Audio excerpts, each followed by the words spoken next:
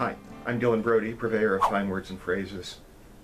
If you're a writer or an aspiring writer and you found your way here, it suggests that you have a, a project uh, that you long to put to the page but find yourself unable to finish or even more troubling, unable to start.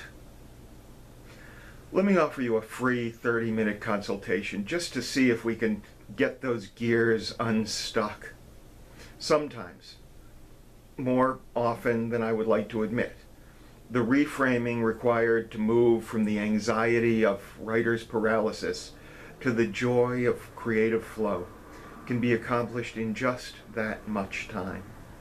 No cost, no obligation, just an opportunity to tell someone with experience a little bit about your dream project and the possibility of stepping into the process with newfound confidence.